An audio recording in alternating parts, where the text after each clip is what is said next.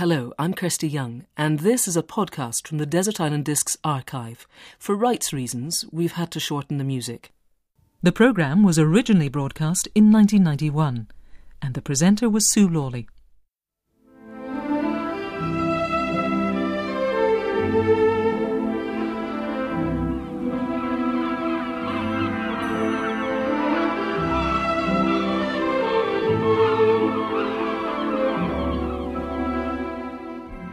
My castaway this week is a journalist. Taking his own life as a model, he entertains his readers with witty and honest accounts of his experiences. He would be the first to admit that these are rarely heroic. For him, booze, horses, and women have made up the greater part of his life.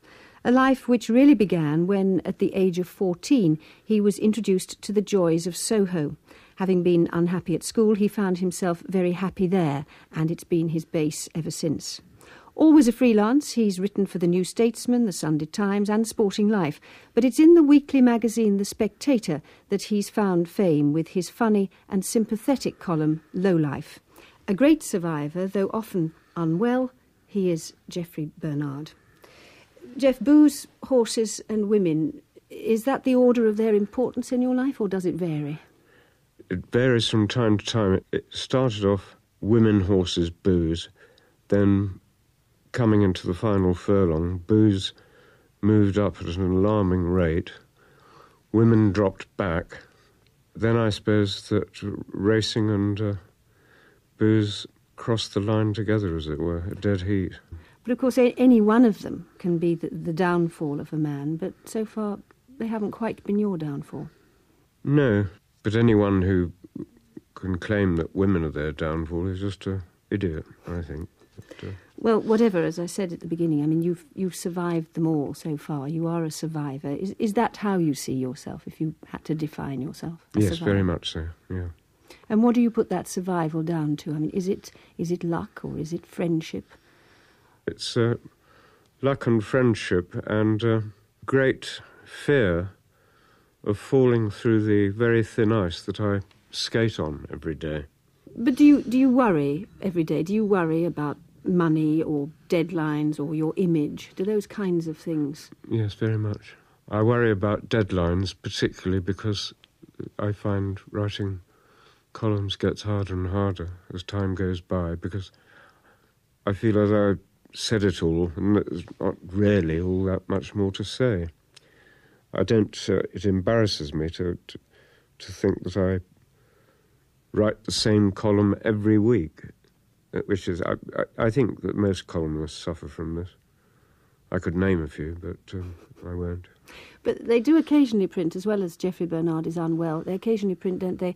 Uh, Jeffrey Bernard's column does not appear this week because it bore a, a remarkable resemblance to last week's. That only happened once. That's, that's an exaggeration. Incidentally, the Jeffrey Bernard is unwell phrase, um, readers and other people, particularly people that don't like me very much, always assume it's that I've passed out somewhere. That's not true. My health is appalling, and I do get ill frequently because I don't uh, control my diabetes properly, which is my own fault. Tell me how large a part music plays in the survival of Jeffrey Bernard. Enormous part. Uh, it's one of the most important things in the world. How often do you listen to it? Every day, for for a bit. It makes me reflect, which is quite nice after the hurly burly of some of the disgusting places I go to. Um, it's uplifting tremendously. So, what's the first record you'd put on when you were dumped on this desert island? I think I'd put on Mozart's Requiem Mass. It's a magnificent piece of music. And I haven't known it all that long because for nearly all my life I've hated choral music and found it very depressing because it reminds me of school. I was I, I had a would you believe it a, beautiful little treble voice and uh, I was the star of the choir and the humiliation and embarrassment I had to go through being forced to stand up and sing solos. It made me feel absolutely awful. And now that no one forces me to do anything, uh, I, I, I think that Mozart is divine, and Mozart is divinity, as far as I'm concerned.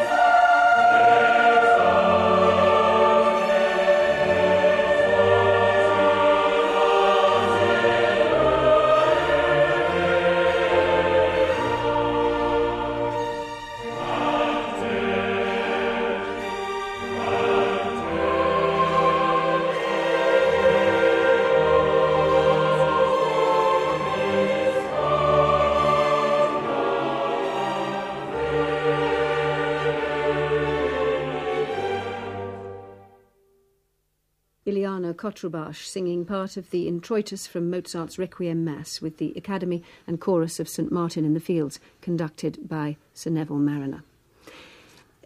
Do you find, Geoffrey Bernard, that people come to you to talk about their drinking problems or habits? They kind of want to assuage their guilt by talking to someone who drinks rather more than they do. They do sometimes, yes. Uh, there's, there's very little one can say. Uh, the, the the only way you can uh, possibly give up drinking is to want to give it up, and I don't want to. And uh, alcoholics are dreadful self-deceivers. Not many of them do really want to. Have you ever wanted to? I had two and a half years on the wagon once because I did something awful, and the remorse was ghastly. But um, What did you do? I hit a woman. We're, we're great friends now. But even so, I sometimes give her sidelong glances and think the mistake I made was not hitting her harder. But the, the two and a half years on the wagon did not do the trick patently. It made me miserable, lonely, bad tempered, melancholy. My then wife later um, cited these things in, in her divorce action against me. These, of course, are the sorts of things you write about in your column. Do you think that's why people enjoy reading it? That they, again, like reading about somebody who's making more of a hash of life than they are? Yes, um, their grass is greener. But what did you intend to do with your life? I mean, when you were, let's say, 12 years old, what did you intend that you would be? At 12, I wanted to be a marine engineer. At 16, I wanted to go to bed with every woman in the world, well, with a few exceptions. I wanted to open the batting for England. I had my ambitions were very uh, banal. Your mother, all this time, they wanted you to be an officer and a gentleman. Yes, she? yes, she was very keen on that. How did she set about trying to perform that? She sent me to a naval college, Pangbourne. I was almost asked to leave. The only thing that saved me from being expelled, I think, was the fact that uh, I was a good bowler at cricket.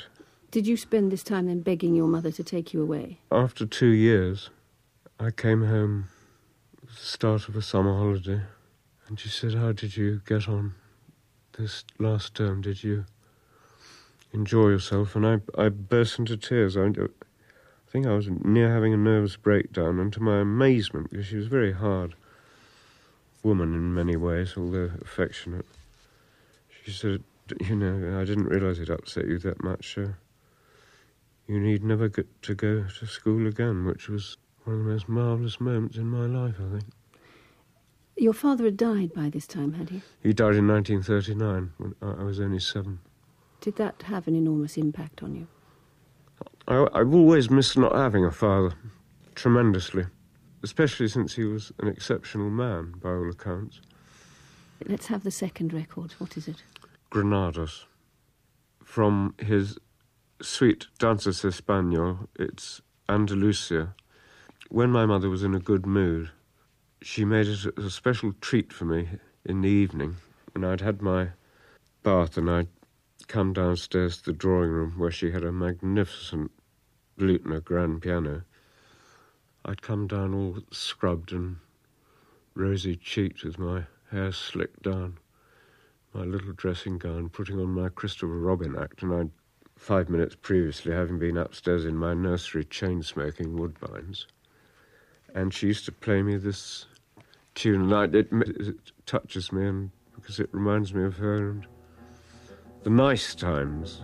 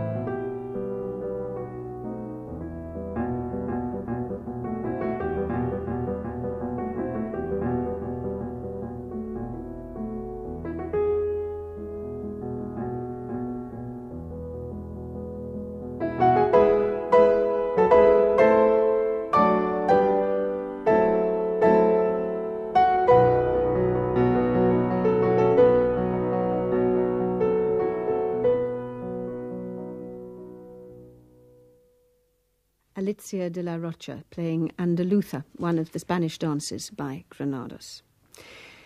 I said that you were introduced to the joys of Soho at the age of 14. Who introduced you, Jeff?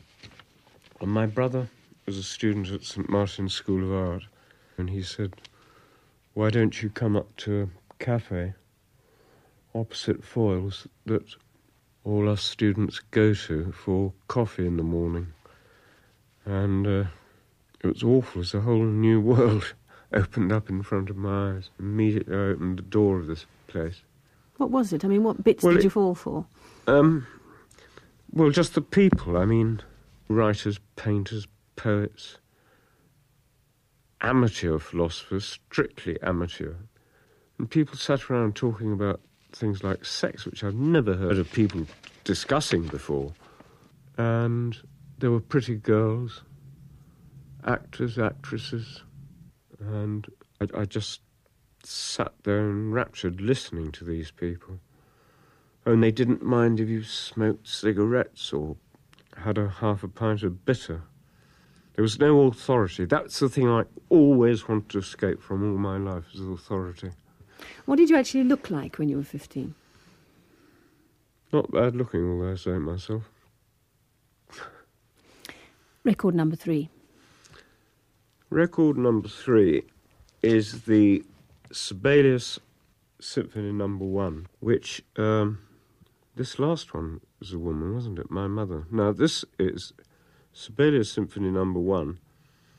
Is uh, my uh, most recent wife. I often think of it as being her dowry, apart from uh, bringing herself, which was a lovely thing to do because she's a very lovely, nice woman indeed. Um, she brought that, and I, I hadn't really listened to it much before. The thing about Sibelius fascinates me is that uh, it's all about Finnish landscape. To some people who, who are not familiar with it, he may sound slightly gloomy, but I think he's absolutely marvellous. Also, in case she's listening, I would like to point out to Susan that um, although Sibelius can be very, very grim indeed, I never thought she was. Just bad tempered.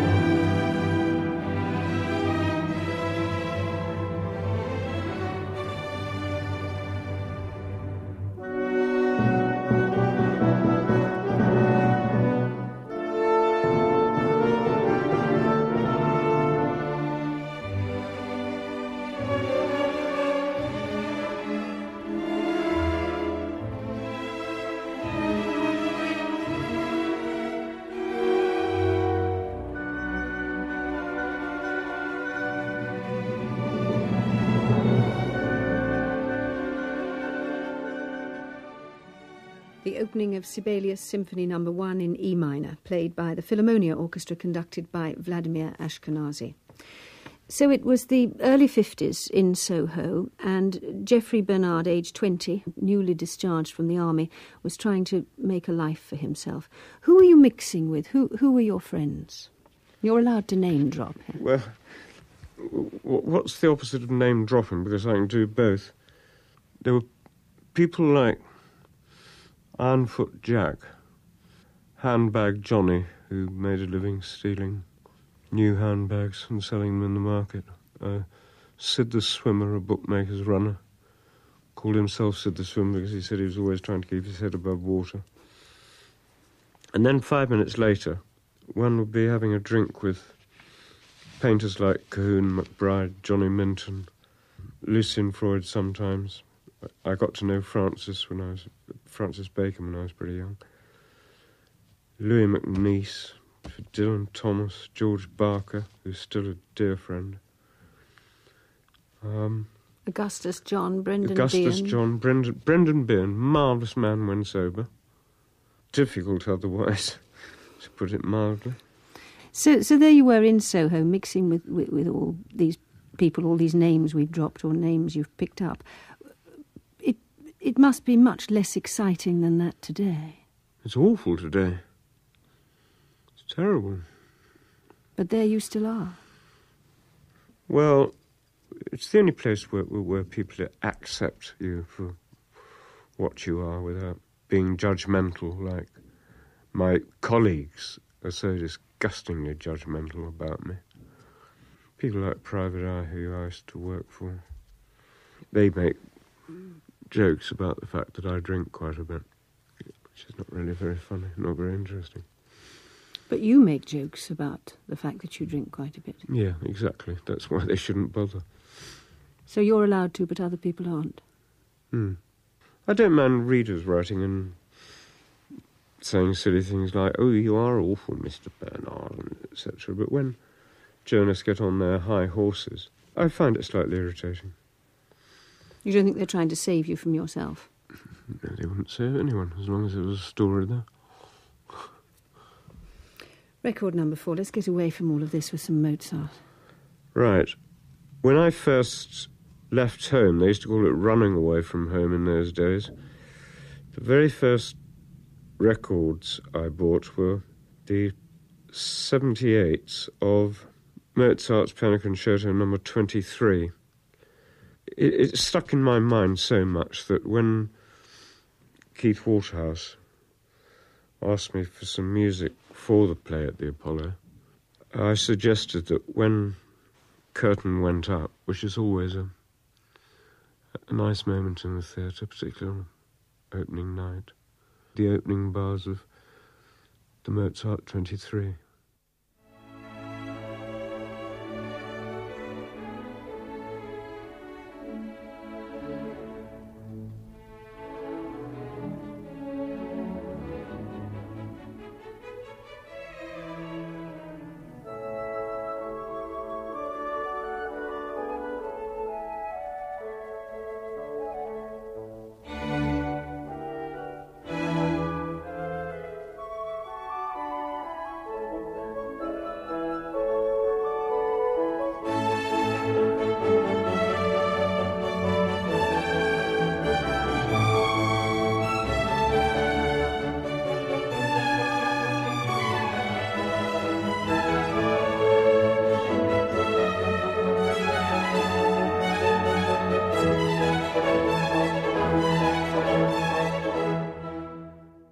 RCA Victor Symphony Orchestra playing the opening of Mozart's Concerto Number 23 in A major.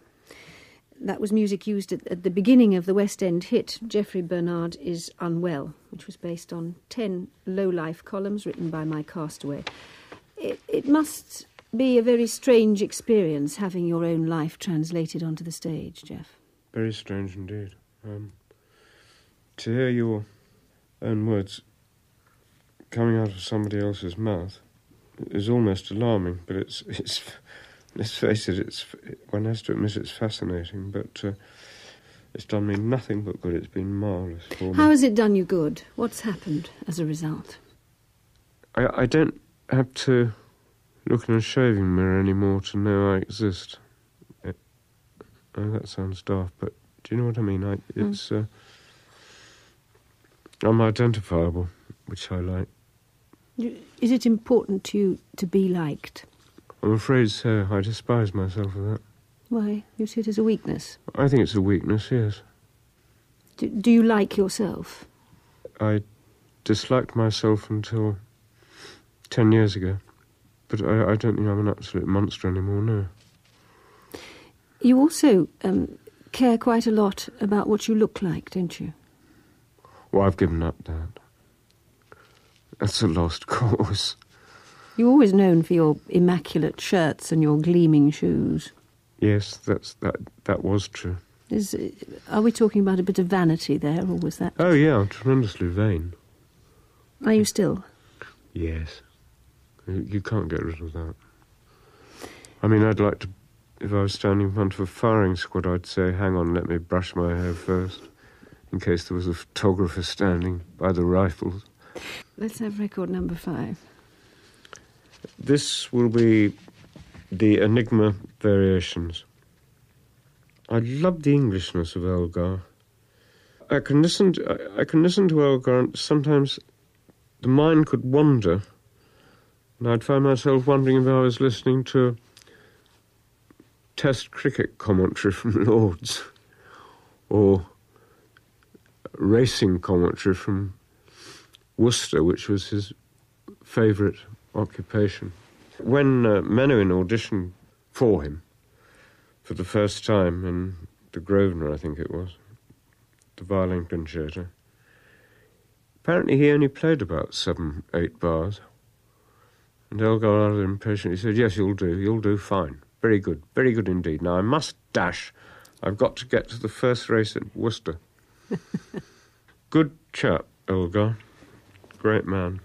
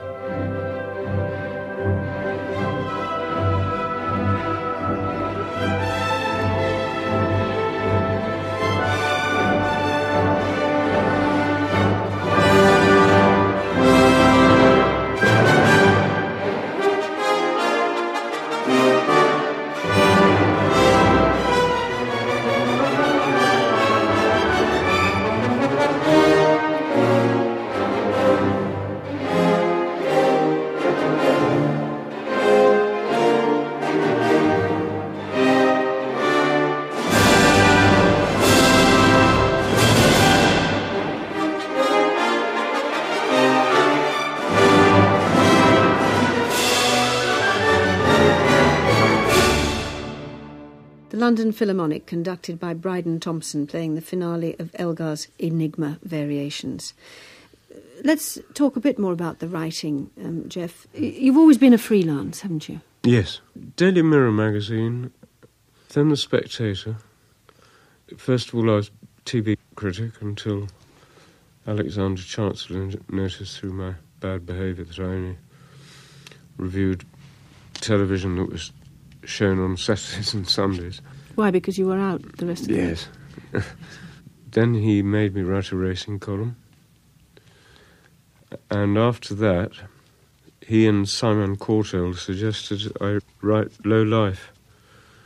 And uh, I suppose that caught on in a way. And I've been doing that for, it must be 14 years, I think. If not 15. Yeah, maybe 15. Is it a living? No, no. And is it work that you enjoy? I mean, do you look forward to writing? I loathe working more than anything else in the world, writing. It makes me physically sick with anxiety. I hate it. If I was a masochist, an electric typewriter would be a nigh luxury, but it won't be. We'll find out about that in a minute. Let's have the sixth record. The sixth record is an excerpt from Der Rosenkavalier which transcends a lot of other opera, and I think it's sensational. So I'd really like to have that.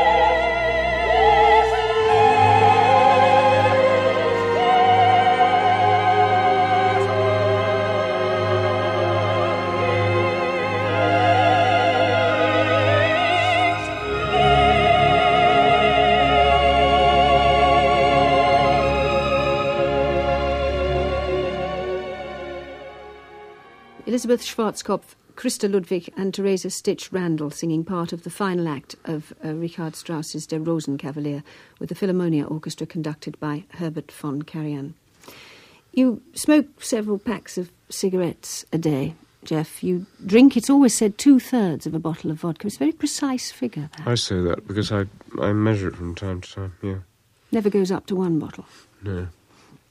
You're I don't drink as much as, as my colleagues on the press make out. But you're considerably underweight, and, and And that's because of a muscle wasting thing connected with diabetes.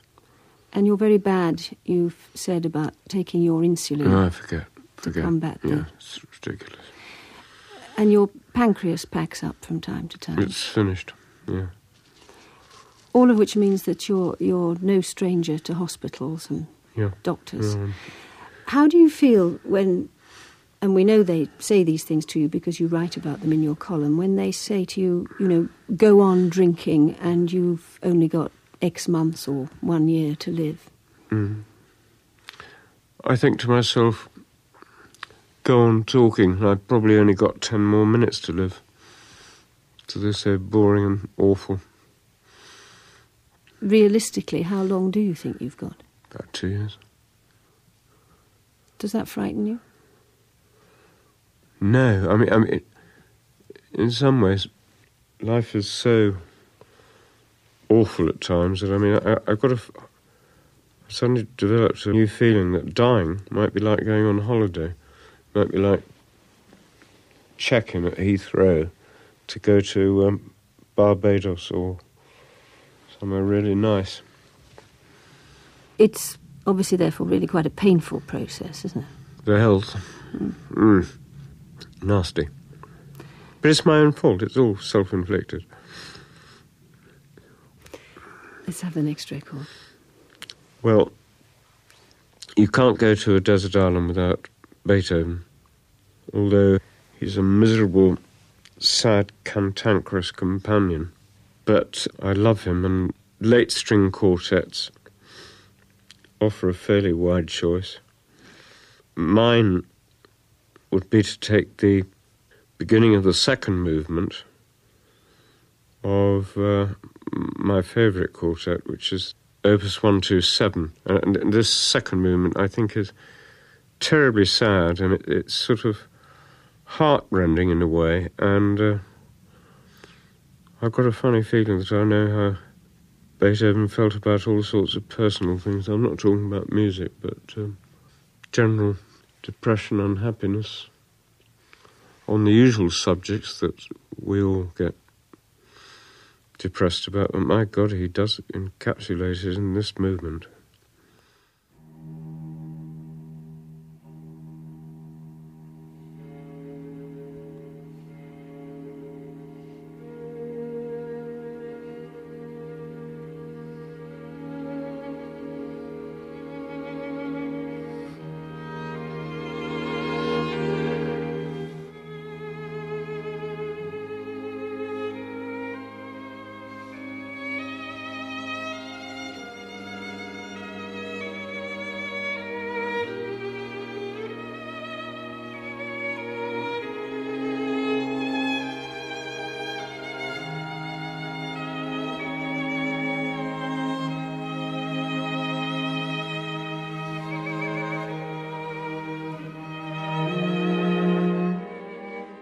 Beginning of Beethoven's String Quartet in E flat major, Opus 127, played by the Melos Quartet. It's very sentimental music. Very. Have you a vision of yourself and what life would be like for you on the desert island, Jeff? Sedentary. Not adventurous. I am no Robinson Crusoe or James Bond. Um, Barbados is one of my favourite places to go on holiday. I've only been there three times, but I love it. I like uh, lying on beaches and wandering around and smelling the bougainvillea and of course there's not going to be a bamboo beach bar on this as there as there is in Barbados. And no people. Oh dear. Does Oh. the solitariness have any appeal at all, or is it terrifying? It doesn't terrify me. No. And as you sit there, because I presume escape would be all too much effort, Oh, yeah. Uh, as you sit there looking back across your life, wh- That's all I do. Memories. But what would you feel when you were just left to do that and not even be able to write about it? Would you feel a, a sense of disappointment, or would you feel that you hadn't done too badly? I do that now. I do that now in the morning when I wake up in bed, drink endless cups of tea. I think about the past. Um, um, what do you think of it as you look back on it? There's a little bit too much remorse. I don't like that emotion at all. And what's the remorse about? I wish I'd been a better person, that's all. Simple as that. Last record. Having gone to sleep, hopefully, after listening to a sort of melancholy, very sad bit of Beethoven, I'd very much like to wake up in the morning to my coconut juice made, if there's such an equivalent of a Teasmade, a wakey wakey to uh, the Haydn String Quartet, Opus 20, number one. I, I only discovered the Sun Quartets, which is the- first one of uh, recently. I love it. Thank you.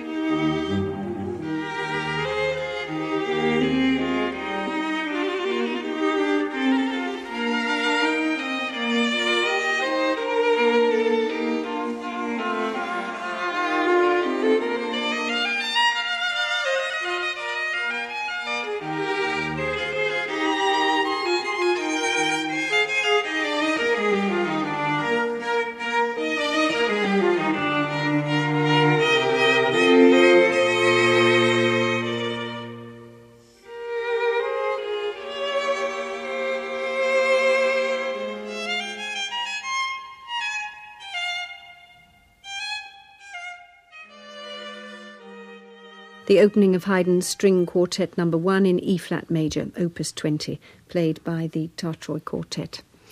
So, which one of those eight records would be the most necessary to you on the island? I don't think it's a question of necessary. I think it's a question of which one would last the longer. And in which case, I think I have to say the Mozart Requiem. And a book.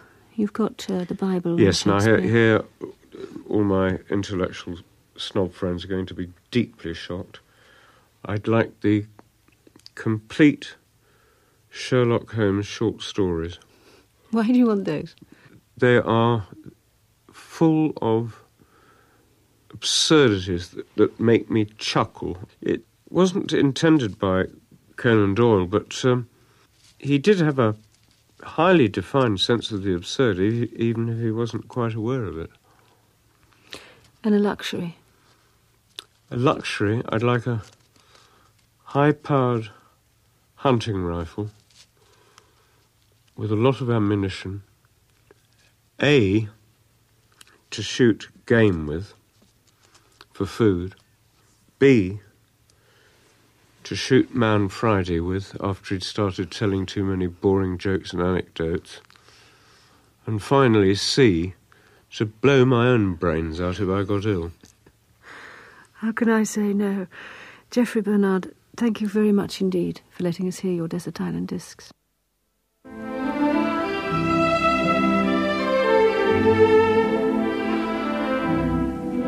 You've been listening to a podcast from the Desert Island Discs archive. For more podcasts, please visit bbc.co.uk slash radio 4.